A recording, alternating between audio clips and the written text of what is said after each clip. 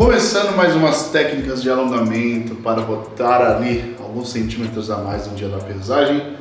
Já estou com 8,3 tranquilamente ali sem fazer os alongamentos. Vamos fazer os alongamentos, tirar algumas medidas tanto da minha altura quanto do meu braço, meu antebraço, quanto é que será que mede. Mas vamos aqui, hoje eu vou fazer sem strap porque eu tô cabrunco, tô na roça.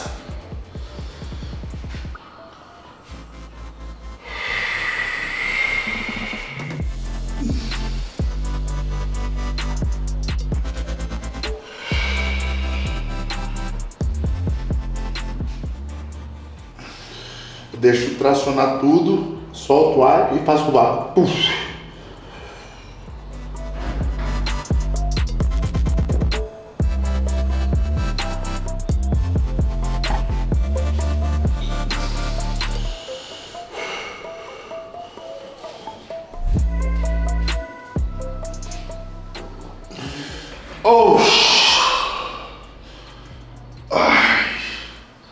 Achei bastante coisa sobre na internet. Existe uma mesa de tração também, uma, uma cama inversora que o Sebum e várias pessoas têm.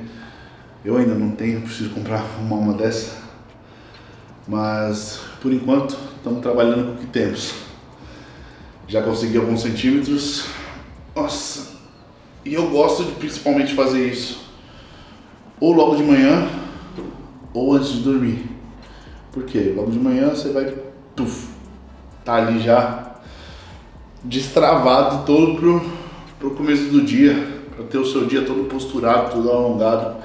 E antes de dormir, você tudo que você fizer aqui, você vai e deita, puff, se anexa com mais força no seu corpo, tá ligado? Tem mais efetividade. Maneiras minhas de pensar. Vamos dar uma conferida na minha altura?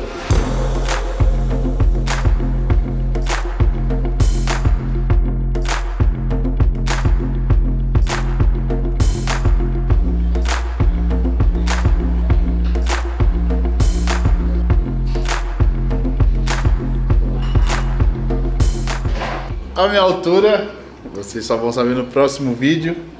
Mas a gente vai fazer agora as medidas para vocês terem uma noção básica aí.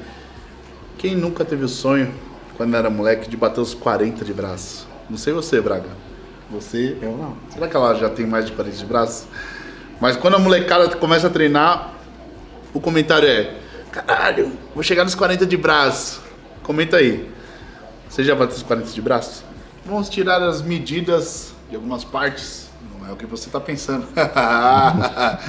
Vamos ver quanto é que o Roger CMD tem de bíceps, antebraço e panturrilha. Se está proporcional ou não, como é que tem que ser. Bora! Minha assistente de palco. De palco? Bora lá.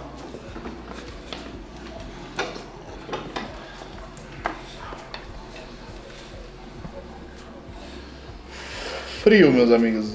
Do nada para o nada. Tá? Ó, 51. Acho que dá pra, pra embicar mais aqui. 51 e meio. Opa, peraí. Vai ficar apertado, né? Pronto. É isso, 51 e meio frio.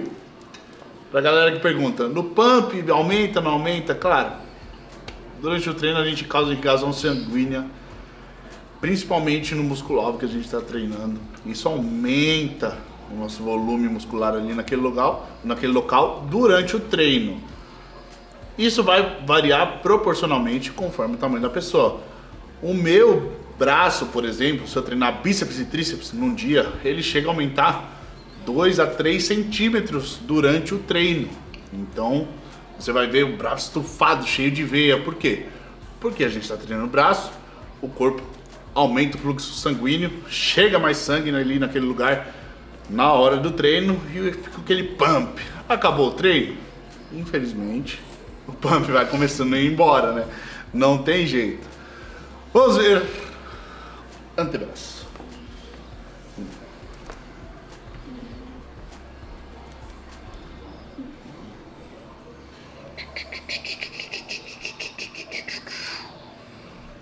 41,5, meus amigos.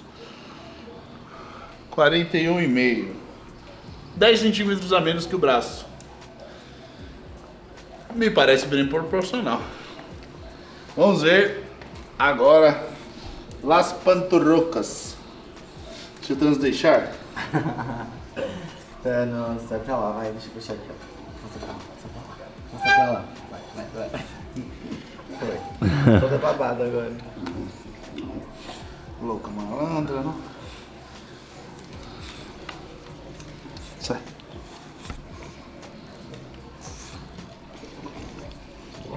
Quarenta e oito centímetros, meus amigos. Tá ali quase no tamanho do, do braço, né? 51, né? Seu braço? Braço 51, panturrilha 48. Agora a gente não tá comendo, né? Estamos passando fome, tá uma, uma tristeza. Mas vamos chegar daquele jeito. É, já tive medidas aí de 51, 52 de panturra. O braço já teve um pouco maior também. Mas agora estou praticamente quatro semanas do campeonato. Quanto será que eu tenho de coxa? quase sem gordura. Isso vai ficar no próximo vídeo. No canal Horse MDTV. A medida da coxa da Lala e a medida da minha coxa. Meus amigos, obrigado por doar um tempinho seu. Deixa aqui seu comentário, seu like. Não esquece de se inscrever no canal Integral TV. Tamo junto.